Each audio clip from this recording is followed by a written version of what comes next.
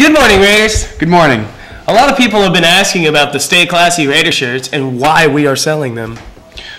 We were so excited about them, we forgot to say.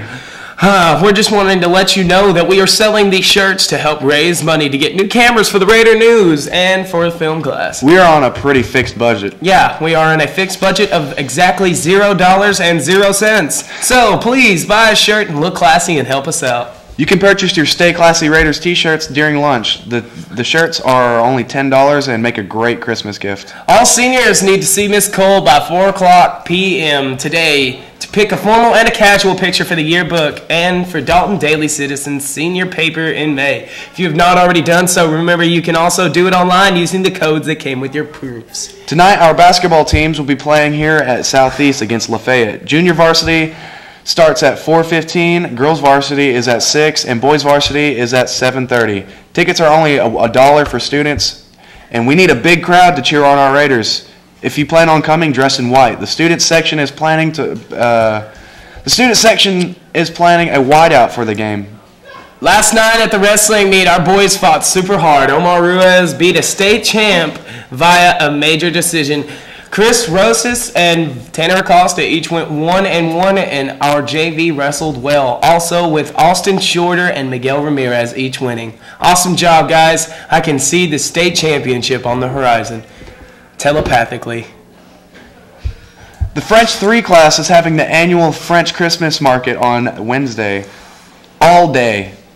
All day in the auditorium. They will be selling hand painted Christmas ornaments and candy canes and some French foods during third period and fourth block. I like me some French foods. I like, f- yeah. Foods of French.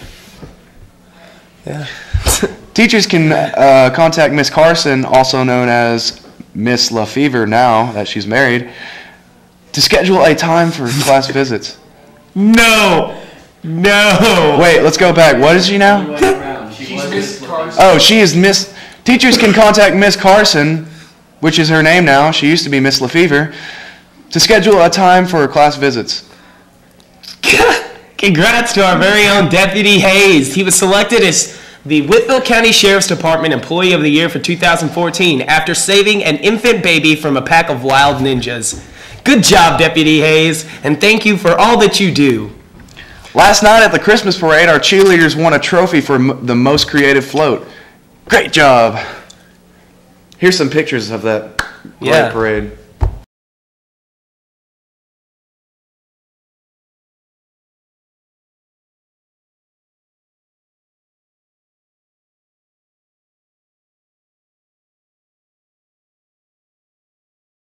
That's a good looking float. Too bad that they strapped C4 to it and exploded it with a 21 gun salute in the background last night after the parade. I got a picture of it though. Yeah.